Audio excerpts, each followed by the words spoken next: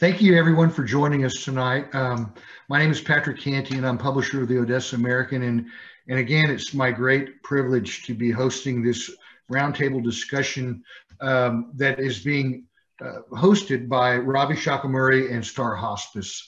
Uh, this is the fourth in the series where we talk to, to physicians and healthcare professionals. In, in this case, we have physicians and two nurses tonight.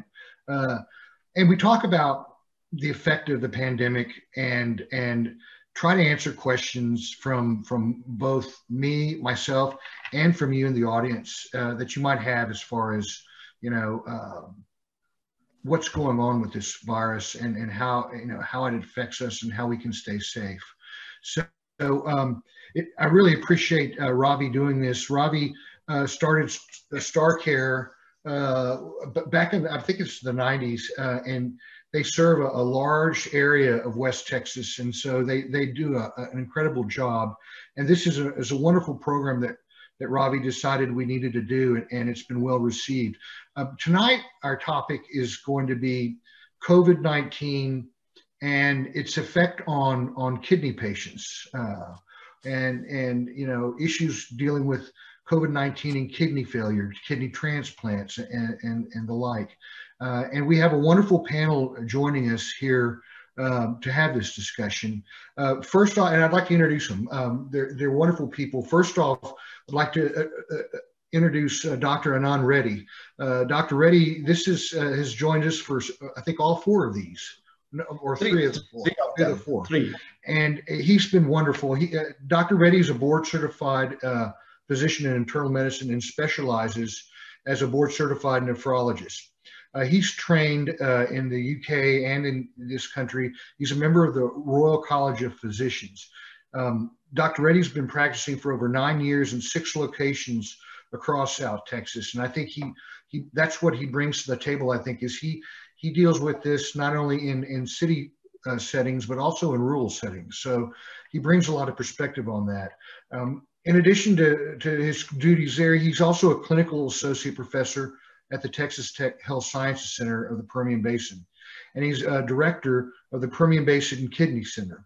Uh, he's been recognized with the Service Excellence Award for Core Value and Service by the uh, DaVita Physicians Leadership Group.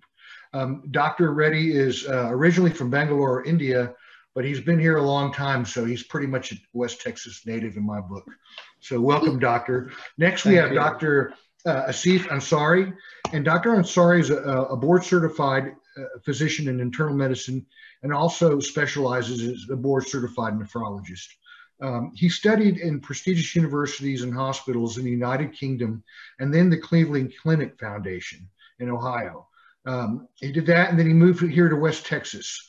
Uh, and he's a graduate of the Rajiv University in India in, in 2002 uh, he's a member of the Royal College of Physicians in the United Kingdom and is also a fellow of the American College of Physicians and fellow of American Society of Nephrologists.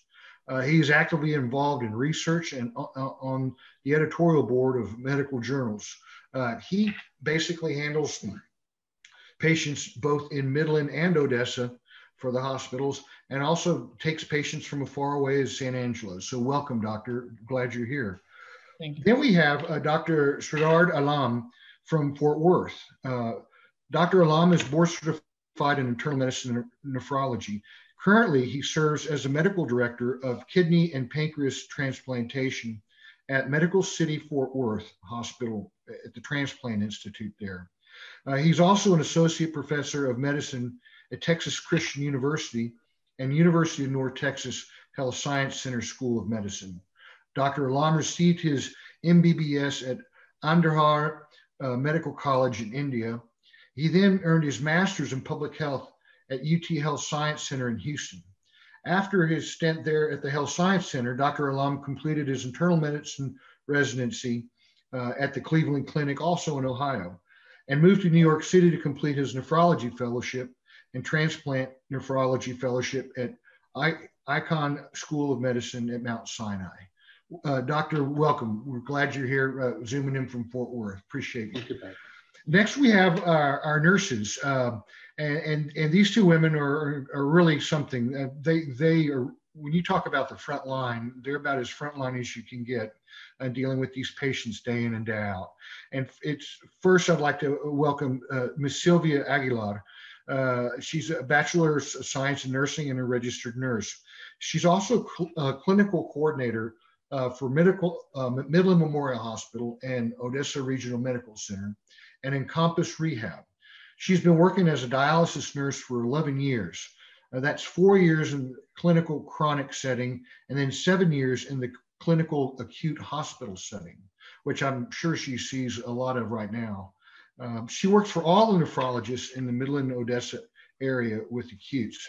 Um, let's see, she's hometown, went to Odessa College, correct? And yes. uh, for your RN, and then you received your uh, bachelor's of science in nursing uh, from UT uh, uh, Arlington. Dialysis always, she says, dialysis has always been my calling, and I strive to do all I can for the dialysis patients to have a safe and effective treatment. Welcome, Sylvia. We're glad you're here. Thank you. Thank you. Uh, and then that brings me to Miss Cindy Velasco, and she is uh, the inpatient acute dialysis program manager at both Medical Center Hospital and Midland Memorial Hospital. Uh, Cindy's been a nurse for 15 years. She, she graduated uh, from Universidad de Santa Isabel, Santa Isabel in Naga City, Philippines in 2005 with a bachelor's degree and has been a nurse now. Uh, let's see, for three years, she worked as a medical and surgical nurse and had some ICU and dialysis experience in one of the prestigious hospitals in the Philippines. Uh, th- she then immigrated to the US uh, in 2009 and has been working as a dialysis nurse for Fresenius Kidney Care for the past 11 years.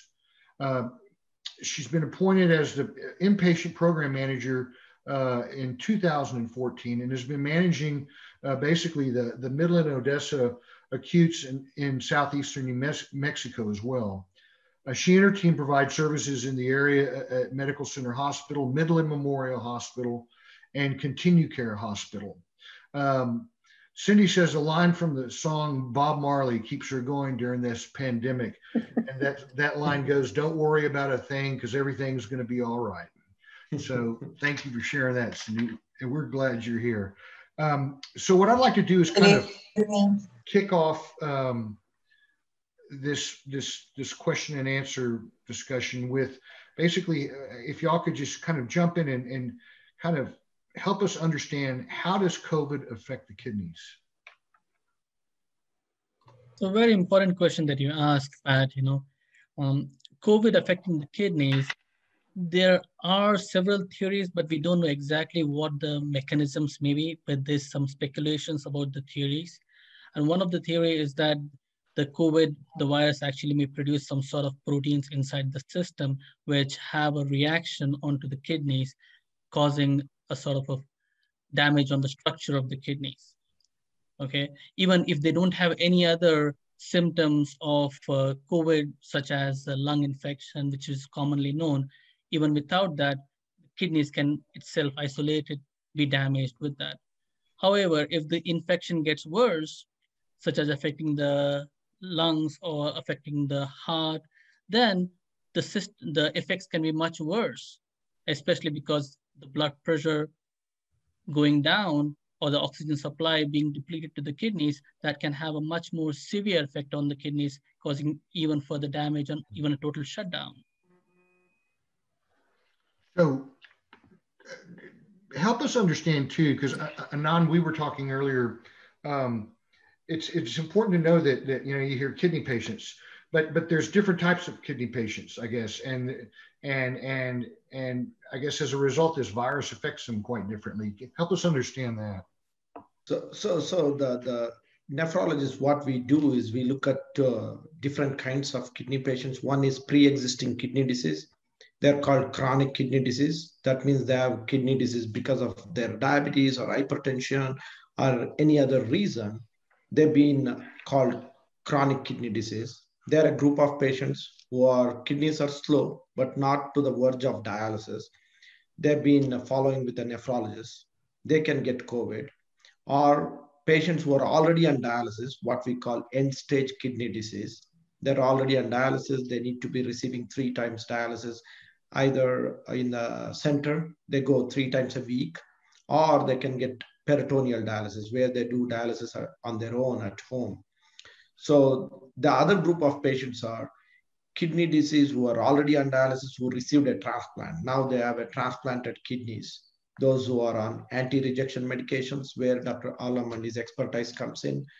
Um, that's a group of patients where uh, uh, they're on anti-rejection medication. They are prone for COVID. In addition, the, the last one is the one who developed the uh, kidney failure, like Dr. Ansari was mentioning, while they are affected with COVID or they are in the hospital for any other reason, which affected their kidney also due to drop in blood pressure, due to the toxins. Some of the medications can react badly with the kidneys and they can, kidneys can go down to the verge that they may need temporary dialysis to salvage them or save them until their kidneys recover. So these are the four different kinds of patients that we see. So we are one of the unique specializations that we are the bridge to the outpatient to the inpatient. When the critical care doctors, they work only inside the hospitals in the ICU setting. As a nephrologist, you are seeing the walking in patient in your office who are having some chronic kidney disease, who have a COVID, to somebody who's in the ICU on a ventilator requiring uh, multiple uh, life-saving measures um, with a kidney failure. So we, we bridge this gap from the simple outpatient to the acute inpatient ICU settings. Okay. Um, so we had an interesting question uh, that was just submitted. Uh, Dr. Jadam Naidu um, is, is, is watching and he, and he wants to know if there's been any, any biopsies done on, on COVID kidney and that have produced any kind of specific findings. Have you all heard of any? So, yes, so, yes. You want to take? Yeah, so there have been biopsies, some small studies, but uh, relevant, showing that there's a particular type of injury which can be noted in the kidneys when they do the biopsies. Sometimes they even find uh, viral molecules inside the kidney biopsy. And uh, the term, the medical jargon is collapsing uh, glomerulonephritis that they have found. So most of the add on most common biopsy finding was what we call ATN, acute tubular necrosis. Uh, that is a condition where patient is critically ill with hypotension or severe COVID disease when their blood pressure drops. And uh, when the blood pressure drops, there is not enough blood supply or oxygen supply to the kidneys and uh, that can lead to this condition. There is damage to the kidney tubules called ATN. And there are several other series that also, uh, like Dr. Ansari mentioned, collapsing uh, uh, glomerulopathy, and there are also other changes that were seen. Different uh, glomerulonephritis syndromes were reported. Uh, again, triggering potentially some immune response uh, on the kidneys that can cause inflammatory condition in the kidneys, causing kidneys to fail. Okay. So uh, uh, in addition, I just want to add one thing. COVID, the most important, the sickest of the sick, what they develop is what we call ARDS, means the lungs are not able to get enough oxygen to the body. When that happens, every organ shows damage because there is less oxygen to the organs. So either it's liver or kidney or the heart or the brain, they all have some changes suggested uh, suggestive of decreased oxygen supply which uh, Dr. Allam was mentioning, acute tubular necrosis. So here is the biggest problem with doing biopsy, Pat. Initially, when this uh, COVID came, they came in huge numbers. Then having to protect the whole, the biopsies are done in a in a setting of an interventional radiologist able to go and get a piece of the kidney just imagining these acutely sick patients who are uh, critically ill on the maximum support of a ventilator to be able to do that was very difficult. Some of the series were uh, biopsies, some of them were autopsy series. When the patient passes away, that's when they looked at some of these studies. But it's, it's locally we did not do because uh, it does not change the way we treat. To specifically to Dr. Naidu's question, uh, one of the uh, hindrances is how will we change management? We're already giving massive doses of steroids. Um, if there is an immune response that should take care of it. And uh, we will do the supportive therapy as any other medical condition. So it's uh, unlikely to change our management. And the difficulty of arranging a biopsy with a COVID positive when they're actively shedding virus, uh, being on a life support is very, very, very difficult. Have you mm-hmm. tried anything, Dr. Allam, in uh, Fort Worth? I mean, most of the population I take care of is a transplant population. The one worry we always have for transplant patients is rejection, you know, which can happen, especially if you're trying to manage patient with uh, COVID, transplant recipient with active severe COVID disease. We try to back off some on immunosuppression. Uh, we try to stop at least one or two of their rejection medicines to help them fight COVID disease. And uh, that helps the patient's overall condition potentially but again we are putting the kidney at the risk of rejection because our immune system is always trying to reject the kidney. These transplant recipients have to take transplant medications on a regular basis without missing any doses so when you have a covid-19 patient severely sick and uh, you have to back off some immunosuppressive medication so that their immune system can be a little bit more active to fight the COVID-19. We always worry about rejection and uh, doing a biopsy um, in, in these critically ill population with positive COVID, again, that puts other um, healthcare providers at risk of acquiring COVID-19. So unless, as Dr. Reddy mentioned, unless it changes the management, um, we uh, would try to avoid doing biopsies. In the transplantation, there is a new technology that is becoming available recently, is something called cell-free DNA. Uh, that is a blood test uh, based on which we can tell if there is the kidney that is being rejected. So I have done that blood test, cell-free DNA test, uh, to find out if there is any rejection going on, but we try not to do the biopsies as much as possible unless we feel that it is going to change management in a big way. So um, I have a two-part question or two questions. Uh, and one is help people understand, does having kidney disease put you at risk of getting COVID? Or is it just, you know, or once having kidney disease makes it worse if you get it? That's the first question. Does having kidney disease put you at risk of getting COVID? And then as a follow-up, uh, Dr. Naidu says, asks what percentage what percentage of COVID patients wind up developing, you know, kidney issues? So to answer the first question, um, there's again, as we, we just talked about, there's several types of kidney disease patients. You know, one is what is called as a chronic kidney disease. The other one is end-stage renal failure. Other one is the transplant kidney. Now, when you have a chronic kidney disease, there's nothing in the chronic kidney disease which makes you more susceptible to have an infection with COVID. However, when generally when people have chronic kidney disease or patients have chronic kidney disease, they also have other conditions such as diabetes or other illnesses which make them predisposed or increase the infection rate, get a COVID. And when they do get an infection with COVID, there's a chance that it could get worse compared to somebody who did not have a kidney problem. And sure enough, people with end-stage kidney disease or transplanted kidneys are at a risk of getting infection because their immunity would be considered to be lower than the general population. And to answer the second question, uh, um, do these patients who, uh, how many of the patients have COVID develop kidney problem, especially in patients who have a severe illness and who have been admitted to the hospital, we see almost 30 to 50% of these patients will develop a kidney failure. And we also see that, especially if, the, if they're intubated on a ventilator, we see, and they have a kidney problem or kidney failure, we see the chances of them surviving are much lesser compared to the other folks who don't have a kidney problem. So yes, the combination of having COVID and kidney failure and being admitted to the hospital is bad news. So uh, just quickly to add to this, for all the people coming in contact with the COVID is a risk factor. That means wearing a mask does work. So even if you have a pre-existing kidney disease, that does not make you susceptible to get a COVID.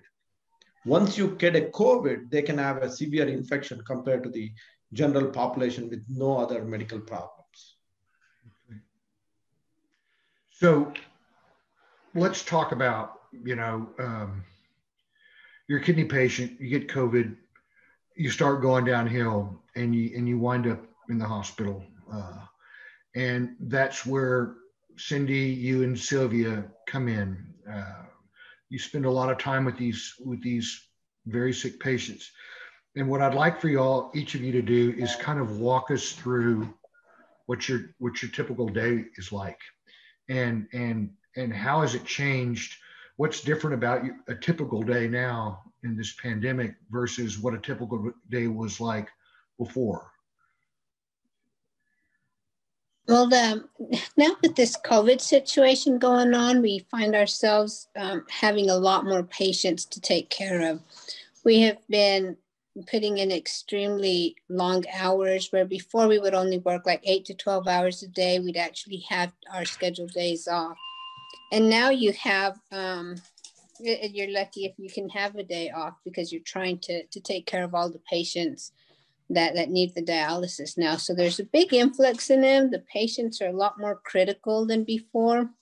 A lot of times you would just get like chronic patients who were in for a procedure and needed dialysis while they were in the hospital. Now we're, we're taking care of patients that we, we first time dialysis, what we call the acute patients, and it's nonstop. It's one after the other, and we just never know. We may just say, okay, we have so many patients today, and they come in through the ER constantly and needing dialysis treatment. So it's actually made our days very long and uh, of course being shorthanded with all the nurses uh, we don't have enough staff as dialysis nurses so it's making it really hard for us wanted to add to that one um sylvia i, I agree that it's hard we only have just within our fingers uh, our staff exactly. and compared to the hospitals we don't we don't get fema support so first started, um, majority of our patients were acutely ill patients. And with ER diversion, um, there, there was actually a big decrease in the number of dialysis patients in house.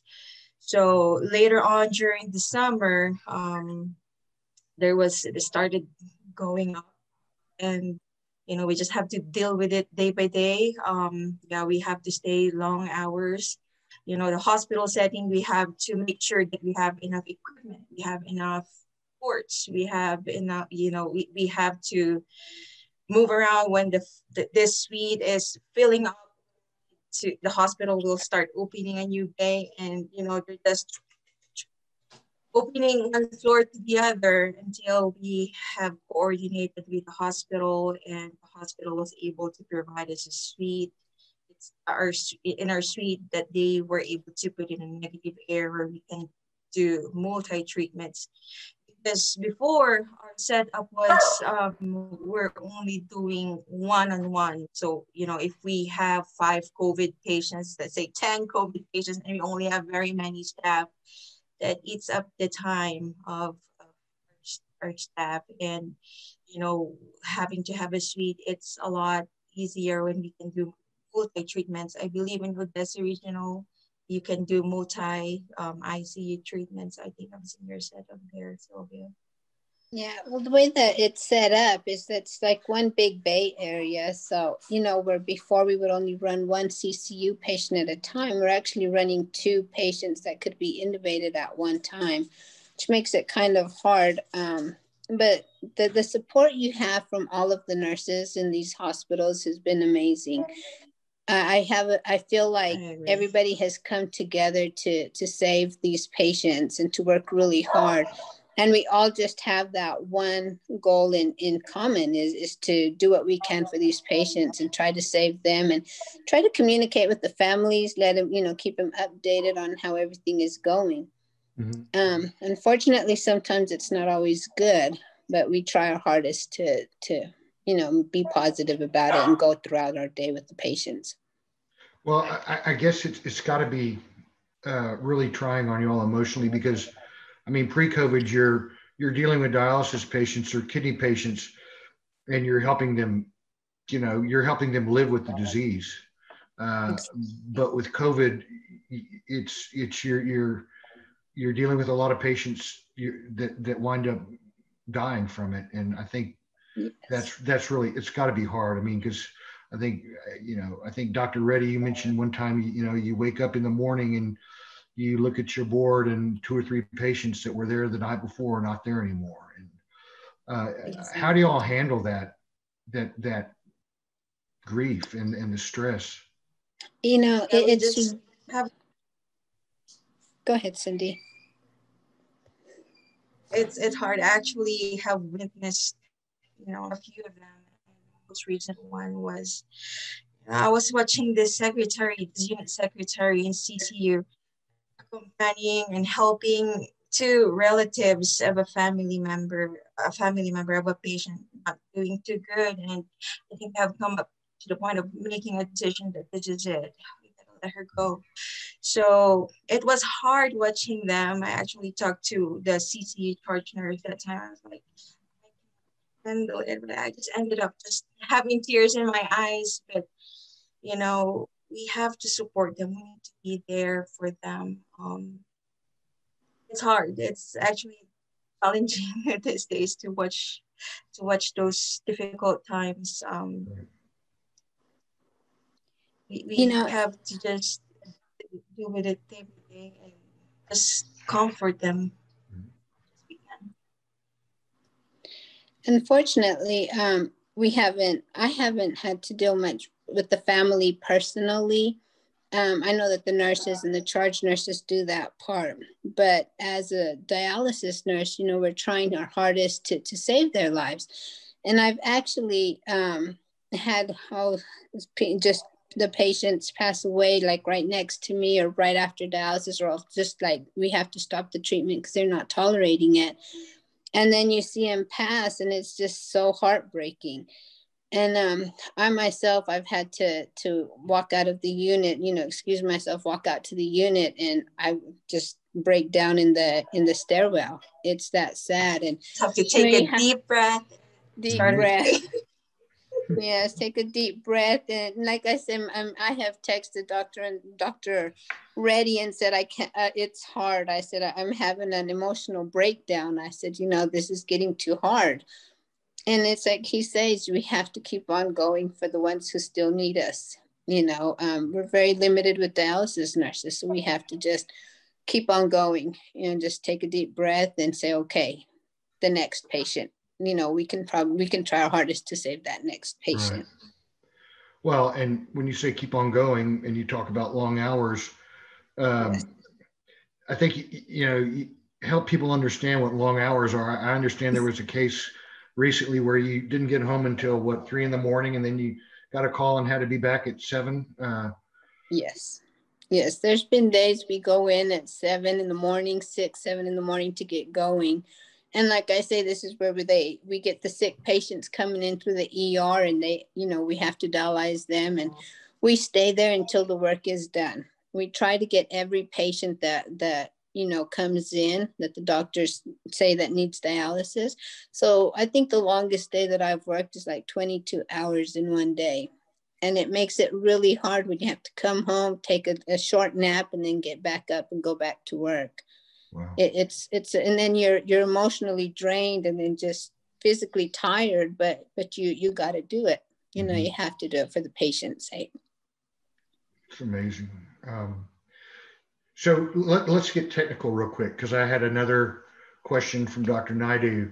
Uh, when we're talking about dialysis, um, what are what are y'all finding is is the better treatment? Uh, is uh, peritoneal dialysis or uh, hemo, hemodialysis uh, for end-stage COVID kidney uh, situations. Uh, what's working better, do you think, and, and, explain the difference between the two? So, so the, uh, what Dr. Naidu is mentioning is people who are already um, as end-stage kidney disease. That means they have been supported, life supported with either uh, hemodialysis, where they go to the dialysis unit three times a week.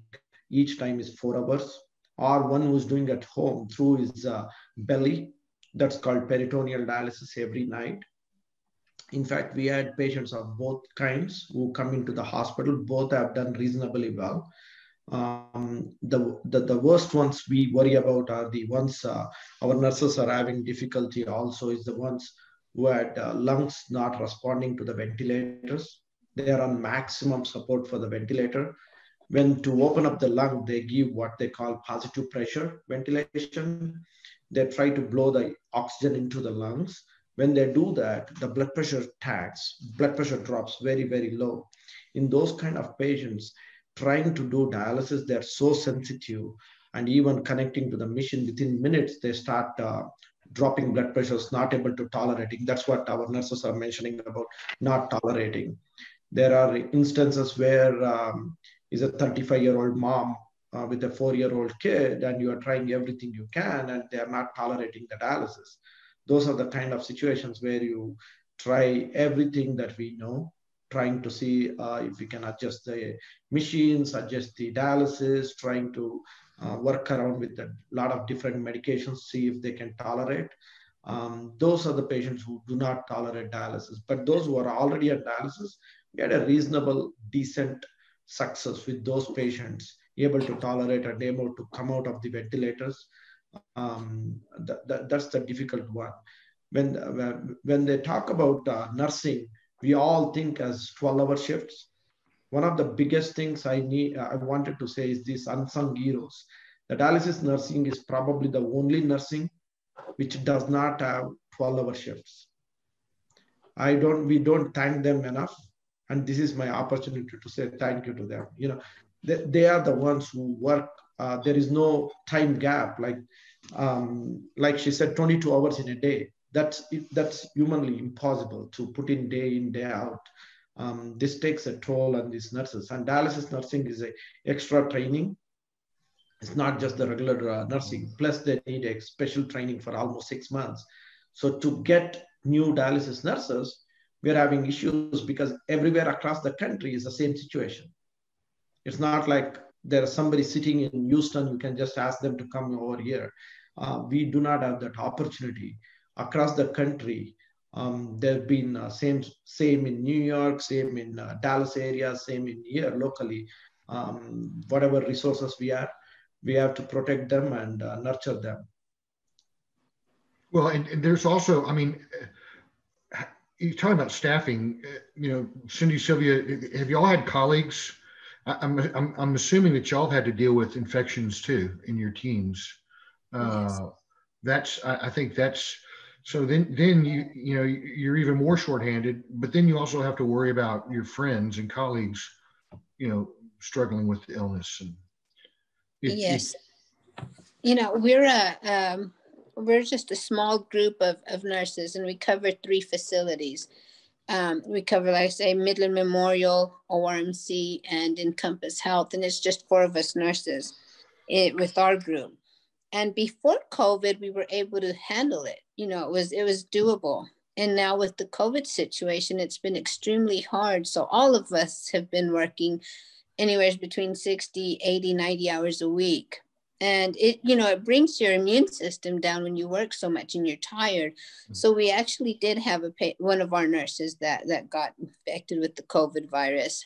Um, fortunately, he's he's doing well and should be back to work soon but you do you're constantly worrying about him or about your your teammates and trying to see how else you can help each other out you know and, and you're constantly texting or calling to to check up on them make sure that him and the family is okay so that's another thing that you have on the back of your mind oh my gosh you know i hope he he's good and i hope that everything turns out okay and i'm yeah. luckily he is yeah so we'll be getting him back soon that's good yeah um with my program, there's more than there's more of us. There's around ten of us, uh, but we cover medical center, so that's the biggest in the area. And the good part is, um, you know, not all of them are. I don't, wishing, you know, two or three of them to get sick because I don't know how we're all going to Right. Right. So yeah, one one at a time. We actually have three staff now who got infected, but actually the third one is coming back tomorrow. He's cleared to go back to work. But I think the big part is uh, the you know, it's it, it will come from the staff. We can only remind them do it strict precaution. You need to wear your PP, you need to wear your goggles, your N95 is only good for this long. Um, you know, if uh, you know you have to change scrubs every time you go to undress and make sure that when you go home, washer and go take a shower because we don't want our family members to get sick and get COVID. So yeah, th- those reminders and the staff themselves, you know, you can, we can only but the staff themselves has to comply. Otherwise, they're all going to get sick. That's yeah. going to be very scary. Mm. Um, so let's let's talk about um, the transplant side of it, um, because this this this pandemic has had to have had an, a, just a horrible effect and presented a totally different set of challenges to uh, doctors such as you, Dr. Allam, and, and transplant patients and the whole process of transplanting. Um, help us understand how this, this COVID 19 pandemic has, has affected transplants. Sure, Pat. So, transplant, you know, people, there are two kinds of transplant uh, populations we deal with. One uh, a group is patients that are waiting for transplant. So they have end stage kidney failure, they have liver failure, they have heart failure that need a life saving transplant. And the second group of patients we address or we help with are the patients that received transplant in the past. So COVID-19 pandemic has affected both groups in a significant proportion, in significant impact on both groups of populations. You know, for most of the programs, uh, transplant programs, when the pandemic evolved. Uh, we don't know how it is going to impact. We hear from the news from abroad, from uh, early uh, in the pandemic in US, from um, uh, Seattle area, from New York area. We have been um, been updated on a regular basis. I mean, this is a deadly pandemic with so much mortality rate. So all the transplant programs um, for at least a couple of months or so, they stopped doing transplants, you know, especially living donor transplants. That means the patients that are waiting for a life-saving transplant, and uh, when the programs have stopped doing transplants, you know, they are not going to receive transplant. That means, you know, they are facing higher mortality risk, higher risk of death while waiting for transplant during this, you know, lockdown situation. And post-transplant, uh, that's another population we deal with. You know, after transplant to prevent uh, rejection of the transplanted organs, these patients are uh, receiving anti-rejection medications.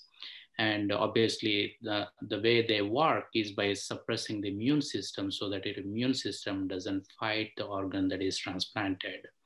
Uh, so any infections, um, uh, not only the antibiotics um, uh, that we typically help patients uh, with, uh, our immune system also has to cooperate and help fight infections. So when you're suppressing the immune system with these rejection medicines, so any disease, any infection can get very severe in transplant recipients.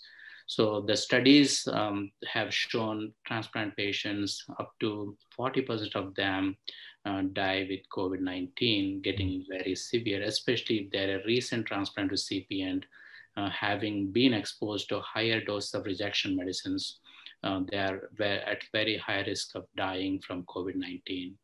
So that's how I mean transplant patients uh, are affected both pre-transplant. I mean their opportunity to get transplant is being lowered from COVID-19 with the transplant programs taking a pause and trying to assess the situation post-transplant. Um, you know, they are at risk of um, uh, uh, getting disease much severe to cause, um, you know, increased risk of death. So they, yeah, if they if they have COVID, they have to go off the anti-rejection medication, which then, so so what is, kind of help us understand what's the percentage, the the the survival rate of transplant patients generally. And so you're saying 40% of transplant patients with COVID wind up dying.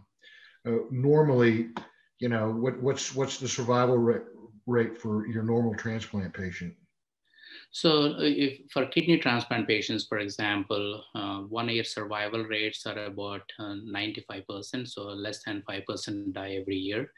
Uh, so, uh, with COVID-19 initial series, especially patients that got transplanted in the recent past, uh, they are at significantly higher risk, up to 40% according to the initial series coming out of New York. And as the pandemic evolved, as we understood the, the virus better, and as at least some treatments that became available, as we understood this disease better, we are currently seeing uh, close to 10 to 15%, even some series um, were reporting less than 10% mortality currently in the transplant recipients. So this kind of, oh, go ahead, Dr. Reddy. Sorry, I just want to add to one, one more collateral damage that we see very particular to West Texas. In the past, whenever we had liver failure who's, who needs a liver transplant, it was a simple phone call to Fort Worth or mm-hmm. um, just call them and they take the patient, which was very, very easy. Now with uh, COVID overwhelming the system, the uh, transfers are not happening. So we are losing those patients because of the uh, overwhelming COVID admissions in the area. Wow. Well, I guess I have a, this is kind of a personal question for you, Dr. Allam.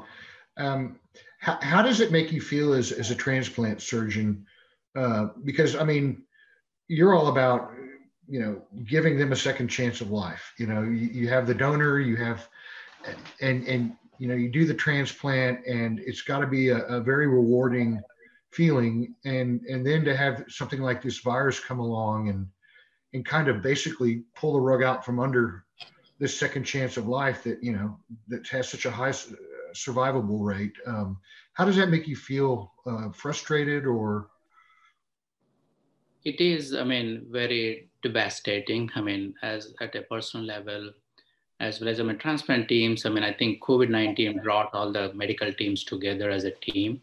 And transplant teams generally operate as a team. I mean, you have transplant surgeons, transplant nephrologists, transplant nurses, transplant mm-hmm. social worker. Uh, it has tremendously affected uh, them uh, you know, this is a very highly motivated team that's always out there to make a difference in others' lives by giving them a second chance. And it affected in a way that we were not able to do as much as it is uh, um, before COVID 19. And then see them die uh, post transplant. Uh, even we have seen you know, even some younger patients, some typically, I mean, COVID-19, uh, older patients, diabetics, transplant recipients, you know, there are some established risk factors that, um, that are at, um, that put each particular patient at a high risk of dying from COVID-19.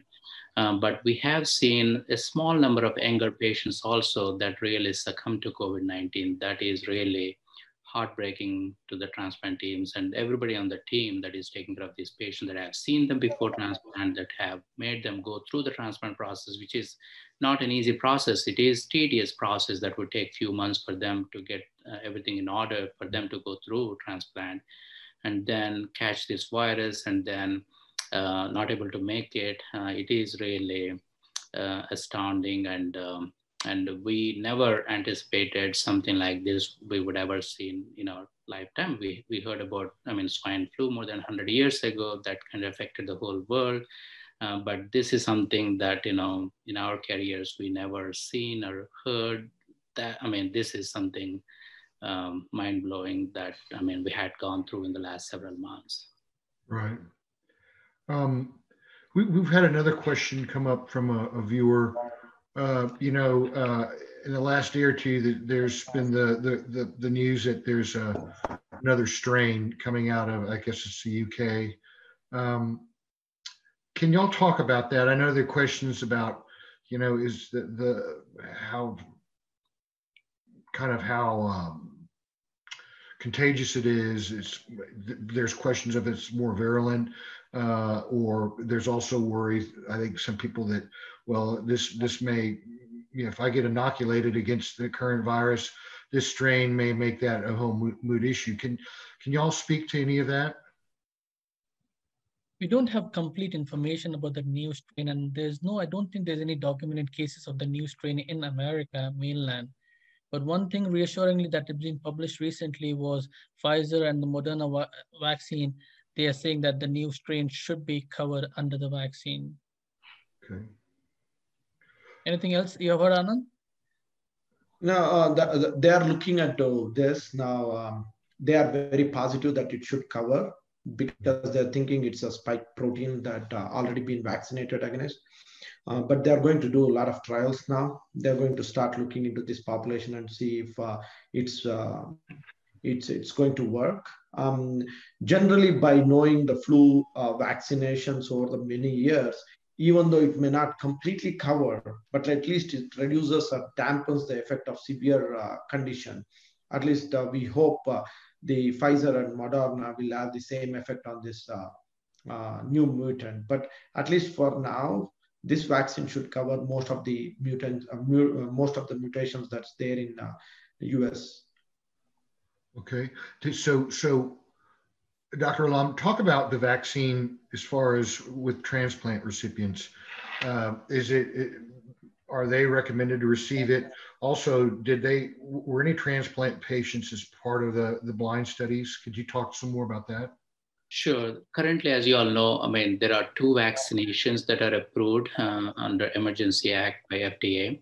One is from Pfizer, other one is from Moderna uh, over the last week or so and uh, both are not live vaccines. So transplant patients um, cannot receive live vaccines because they have suppressed immune system. The li uh, live vaccine and make them develop disease. So both these vaccines are not live vaccines. So we do not have any transplant recipients in these vaccine trials. Uh, so, but based on our experience with similar uh, vaccines in, in flu, for, for example, for influenza, so these vaccines are theoretically safe in transplant recipients. Uh, so because they're not live vaccines, they're against uh, the spike protein of the COVID-19 virus particle. Uh, so you develop immune system, uh, immune antibodies against this spike protein uh, component of this virus. Uh, so being a transplant recipient, because of your immune system is not as strong as a general population, um, you may not respond as much as general population. These two vaccines that are currently approved, uh, they're about 95% effective. That means in general populations, about 95% of uh, the population that receive these vaccines develop protective antibodies. If they encounter the virus, they're not going to develop this uh, disease. Or even if they develop, uh, acquire COVID-19, they're not going to have a severe infection compared to the person that did not have vaccination done. Mm-hmm. So transplant recipients are safe to receive these vaccines. Uh, they may not respond as robust as the general populations. So the current guidelines, again, with the data that is available, which is not much, but based on our experience with similar vaccines for other viruses in the past, uh, the recommendation is to receive, go ahead and receive these vaccines as long as you're at least a month post-transplant. If you're at least a month since you received a transplant, you should go and get these vaccinations done. And you still have to uh, uh, follow the precautions of um, uh, uh wearing a mask, following social distancing. And uh, so that is the current recommendation uh, for transplant recipients. One of our viewers asked a follow-up question, uh, Dr. Allam. She wants to know, are there any plans to develop new policies that will help patients that are still interested in transplants, although the mortality rate, you know, with, with COVID is high? Yes, I mean, so right now for life-saving transplants, for example, a liver transplant or heart transplant, you know there, there is no pause for those transplants because you know for for example for patients with end stage kidney disease mm-hmm. um, that are in need of a kidney transplant it's okay for them to wait a little bit longer because they have dialysis option right. So they can go on for some time without transplant whereas for the liver failure for heart failure there's no such you know uh, definitive therapy or bridge therapy until they get transplant so for life life-saving transplants all the transplant programs have resumed doing transplants like before. And uh, for kidney transplant recipients um, that still want to proceed with transplantation, again, and if you miss an opportunity, you never know when you're going to receive next transplant offer, unless you have a living donor, one of your family members or friends that are willing to donate a kidney, and then you can wait in that situation for a few months until this COVID surge uh, subsides uh, for kidney transplant recipients, what we have been doing uh, is, you know, not give as much immunosuppressive medications as before the pandemic. So we have been a little bit more um, on the conservative side, trying not to immunosuppress too much so that we don't put them at risk of um, developing severe disease if they were to catch the infection post-transplant out there in the community. And we always tell them, even, you know, even before the COVID-19 pandemic, uh, we always tell our transplant recipients for first few weeks, don't go out anywhere. Limit yourself to home and your trusted ones, your trusted family members, and your visit should be just to the transplant clinic. Right. Uh, so we, we always, I mean, are tuned to tell these transplant recipients even before this to be very cautious. I mean, we always warn them about their suppressed immune system, to avoid the crowds, to limit the number of visitors. So that has become more relevant with this COVID-19. And uh, since the COVID-19 has um, evolved, uh, we did about uh, 90 kidney transplants in our program. And um, by God's grace, none of them got infected uh, immediately after the transplant. The, um, we took care of several transplant recipients that had COVID-19, but most of them turned out to be the transplant recipients from uh, a year ago or three years ago or many years ago. Um, by God's grace, we did not have um, any of our fresh transplant recipients that we did since this COVID-19 pandemic evolved um, that had caught COVID-19. Mm-hmm. Again, reinforcing, I mean, even before any therapy became available, reinforcing, I mean, the good practices like, you know, face masking, social distancing, keeping your activities to the minimum, keeping going out to the minimum. And all those things did really help so that, I mean, uh, we didn't have to see any fresh patients uh, acquire this disease. Okay.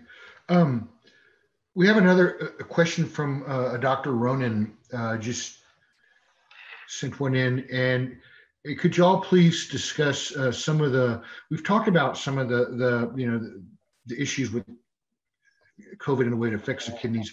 He'd like to know though, if we could uh, discuss some of the renal nuances of the disease, of the COVID-19 disease that you've seen.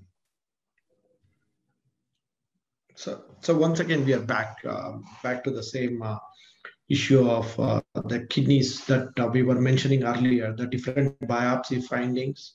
Mm-hmm. Um, that COVID can uh, either have a direct effect on the kidney or an indirect effect. Indirect means when it causes multi-organ failure. When it causes multi-organ failure, when the lungs are badly affected, those are the patients when um, when they release a lot of cytokines, where it affects all organs of the system, including kidneys, or the direct effect on the kidneys, where pa- patient may be reasonably okay with the COVID, but his kidneys are worsening he starts spilling a lot of protein or he's uh, having a worsening kidney function, but his lungs are reasonably okay and he's recovering uh, COVID wise. So those are the group of patients where you can find uh, different kind of kidney diseases. And the other uh, area is the, unfortunately, our dialysis patients, um, uh, we try to keep them social distance in the dialysis unit dialysis unit is like a three feet apart, two patients receiving dialysis. Right. At any given time, there's anywhere from 12 to 18 or uh, 20 patients at a time receiving dialysis. So maintaining a social distancing and masking is very, very tough considering some of them are very old, some of them have confusions, dementia.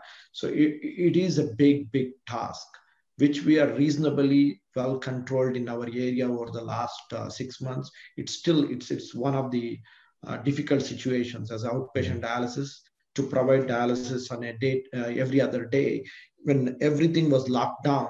Dialysis uh, units were not. We were doing the same what we did for the last uh, many years. There's no change. Actually, in fact, the work has increased. We uh, started isolating the patients who are positive and keeping them in a different shift, um, a different staff for that, dedicated uh, units for that. Um, so we, we dedicated ourselves a unit in Midland where all the patients from uh, Odessa Midland for uh, where we work, me and Dr. Ansari, we shifted them to one dialysis unit in Midland to be able to isolate them. So those are the kind of nuances with uh, kidney diseases. Um, it looks like we're, we're, we're getting ready to come up on the, the bewitching hour where we're going to probably need to wrap this up. But what I'd like to do is kind of go around and um, kind of get your closing thoughts from each of you um, that that we can take away from this. Um, we'll start with how about ladies first, Sylvia?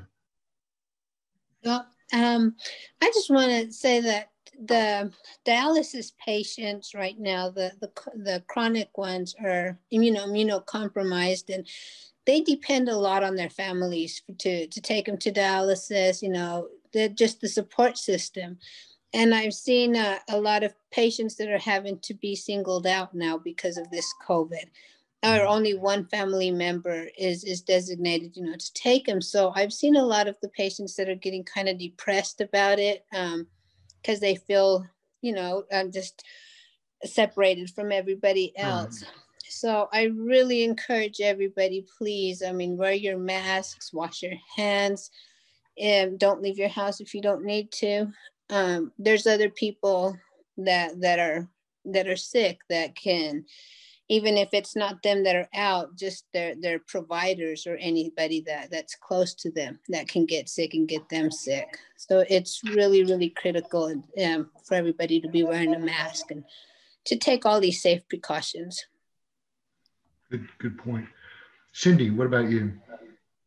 Yeah. Um. So after Thanksgiving, here comes the holidays. There's still Christmas later this week and New Year the next week. So after Thanksgiving, our census actually, we had the most patients that we dialyzed. A lot of patients get sick. A few of them had recovered, make it out of the hospital. A few of them died, didn't make it out. So now here comes the vaccine. There's light at the end of the tunnel. So guys, um, if vaccine it will add in our protection, it will be our shield. As we were telling Dr. Reddy the other day that we have our mask mm-hmm. or goggles or face shield, you know, your scrubs, and then plus the vaccines. But for you guys, wear your mask, please, hand hygiene, and don't go outside. Avoid the parties for now. It will be a little sacrifice this year may be different. Maybe we can celebrate it virtual if you really need to. But yeah, just a little sacrifice this year and, and do what we're supposed to. And yeah, we'll get through this together and it will end soon. Thank you, Cindy. Dr. Allam? Uh, I would say, I mean, I would echo with what Sylvia and Cindy mentioned. Um, you know, I took care of several COVID-19 patients, you know, taking all the precautions, you know, is the, is the key. Even though I came in close encounter and cared for these patients, I did not catch COVID-19 myself. Mm-hmm. So that speaks of the importance of um, taking all the precautions, masking, washing hands, maintaining the distance as much as you could. So this is the year that I want all the viewers and everybody in the community to be watchful, follow all the precautions, and uh, and uh, you know this is the year to be safe. I mean, this is the holiday season to be safe, not celebrate. I mean, this is the year that we have to sacrifice um, for the well-being of ourselves, our loved ones, um, as well as our communities. Uh, so take all the precautions and um, be safe. And uh, as soon as the vaccination becomes available, uh, please go ahead and get the vaccine. I got my vaccine last week, a week ago. I think all the panelists on the on the meeting. Yes, everyone got their vaccines, right? Yes. Cindy, do you have your band-aid? You got yours today? Yeah, I got the vaccine a week ago, so I didn't have any problem. And most vaccine recipients do okay. I mean, there may be occasional reactions. If you have prior reaction to any vaccine, you may be able to wait and watch, but everybody should get vaccination as soon as it is available in the community. That's a great point. Dr. Ansari. I mean, I would like to echo everybody else uh, about the precautions, but personally, I felt the majority of this year was very emotional and very frustrating. And I think almost every physician will agree with me. I have not seen as much death as I saw in this short span of time the density of death. Uh, mm-hmm. And I wish I never have to deal with this sort of a phase ever in my life. And um, so to do that, I think we should get vaccinated, uh, at least against this pandemic, and take the necessary precautions. Good point. Dr. Reddy? So uh, I echo what uh, everyone else said. One more uh, thing is we call ourselves a romantic physicians, the nephrologists, because we we follow these patients forever we know some of my dialysis patients have been with me for eight years, nine years, 10 years. The nurses are also emotionally attached to them. They see them every time they come to the hospital. They know their families. Uh, from uh, six months back to now, they come and share their news. Oh, I had a grandbaby. My grandbaby got married. There are so many emotions that goes through them. I always keep telling them there is a light at the end of the tunnel. Just wait one more month. We have a vaccine available. So close. Uh, just wait another one month. We are so close to the victory. We can uh, get the vaccine and at least win this battle. And some of them can get a transplant and live longer. Um, it, it, it is frustrating for somebody to get sick now and not get better, um, especially when the vaccine is so close. So this is the next one month is most critical. Um, the vaccines are rolling out. I'm sure uh, within the next one month, we'll have plenty of vaccines available to the community, especially our dialysis and uh, uh, kidney disease patients. Um, we and the transplant patients, we are expecting uh, to be available very, very pretty soon. That's great. Yeah. Uh, okay, so before we wrap it up, um, I'm Cindy. You and Sylvia got your shot in the arm but today, but I'm going to give you another shot in the arm. Uh, there's some some really neat comments from some of our viewers I want to share with you. Shannon uh, said, "Nurses give a face to the humanity of all of this. Not too many of us could tolerate this. Uh, thank you to y'all." And another comment from Texas Tech Permian Basin IMRP. Uh, thank you to our renal teams in Midland, Odessa. And then Rosie Davila said, I worked dialysis for six months many years ago. Toughest, most physically demanding nursing job ever. God bless you guys. Thank you.